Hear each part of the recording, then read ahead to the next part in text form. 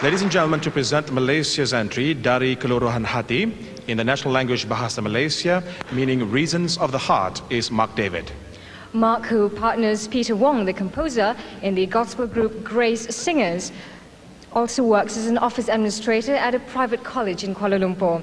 He's also a member of the band Remy and Martin.